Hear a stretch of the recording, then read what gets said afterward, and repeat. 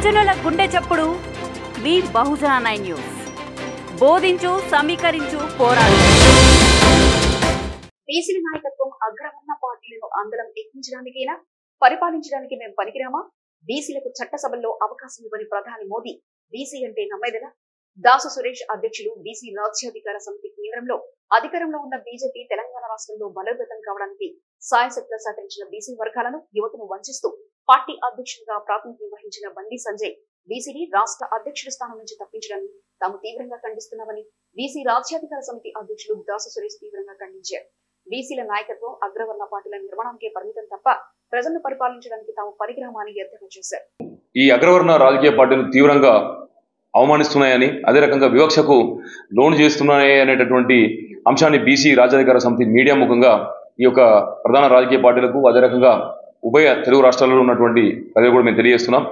ఏదైతే ప్రధాన జాతీయ పార్టీ అయినటువంటి బీజేపీ పార్టీ తెలంగాణ రాష్ట్రంలో అద్భుతంగా నాయకత్వ లక్షణాలను కనబరిచి బీజేపీ పార్టీని అటు గ్రేటర్ హైదరాబాదు గ్రేటర్ వరంగల్ అదే రకంగా దుపాక మునుగోడు అదే రకంగా హుజరాబాద్ లాంటి ఎలక్షన్లో కూడా ఆ, విజయ పదంలో నడిపించినటువంటి నాయకత్వాన్ని పక్కన పెట్టి ఇప్పుడు కర్ణాటక ఫలితాలను దృష్టిలో పెట్టుకొని తెలంగాణ రాష్ట్రంలో బీజేపీ ఒక బీసీ నాయకత్వాన్ని మార్పు చేయడం అనేది చాలా దారుణమైనటువంటి పరిస్థితి మేము భావిస్తున్నాం.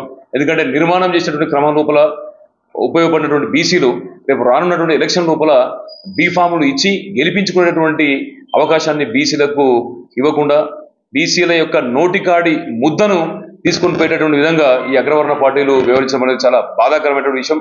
మరి ఇదే సందర్భంలో మన తెలంగాణ రాష్ట్రానికి అదే రకంగా ఈ వరంగల్ జిల్లాకి కాజీపేట ఆ, వ్యాగన్ ఫ్యాక్టరీని సర్వీస్ సెంటర్ని ఓవర్ సెంటర్ని స్టార్ట్ చేయడానికి ప్రధాని మోడీ గారు మరి వరంగల్కి ఈ నెల ఎనిమిదో తేదీన రానున్నారు. మరి ఈ దేశానికి సంబంధించినటువంటి ప్రధానమంత్రి బీసీ అని చెప్పుకునేటువంటి బీజేపీ పార్టీ మరి నిజంగానే కనుక ఈ రాష్ట్రానికి ఇచ్చేస్తున్నటువంటి బీసీ ప్రధానమంత్రి మోడీ గారికి బీసీల పట్ల చిత్తశుద్ధ కనుక కనుక ఉండేది ఉంటే ఈ తెలంగాణ రాష్ట్రంలో కొనసాగుతున్నటువంటి పరిణామాలు ప్రధానమంత్రి మోడీ గారికి అర్థం కావట్లేదని చెప్పి అడుగుతున్నాం. బీసీలు నాయకత్వం వహించి ఈ ఈ రాష్ట్రం లోపల బీజేపీ పార్టీని ఒక ఉన్నతమైనటువంటి స్థానానికి తీసుకొచ్చిన తర్వాత మా నాయకత్వాన్ని తొలగించడాన్ని మీరు తప్పుపట్టట్లేదా అని చెప్పేసి మేము ఆలోచిస్తున్నాం అడుగుతున్నాం. అదేవిధంగా ఏదైతే బీసీలకు చట్టసభల్లో అవకాశం రావాలంటే బీసీలు అసెంబ్లీ పార్లమెంట్లలో అడుగు పెట్టాలంటే కావాల్సినటువంటి ఏకైక రాజ్యాంగ సవరణ ఒకటి చేయడం అనేది తొమ్మిది సంవత్సరాలు పరిపాలన ఉన్నటువంటి ప్రధాని మోడీ ఒక బీసీకి సాధ్యం కాకపోతే ఇంకెవరికి సాధ్యమైందని చెప్పేసి కూడా ప్రధానమంత్రి మోడీ గారిని మేము చాలా స్పష్టంగా అడుగుతున్నాం. ఎందుకంటే ఈరోజు బీసీలను కేవలం ఓట్లేసే యంత్రాలుగానే భావిస్తున్నారు తప్పించి అధికారంలో అదే రకంగా చట్టసభలో అవకాశం ఇవ్వడానికి తొమ్మిది సంవత్సరాలు పరిపాలన చేసినటువంటి ఒక బీసీ ప్రధానమంత్రి చొరవ తీసుకోకపోవడం అనేది చాలా బాధాకరమైన విషయంగా మేము భావిస్తున్నాం.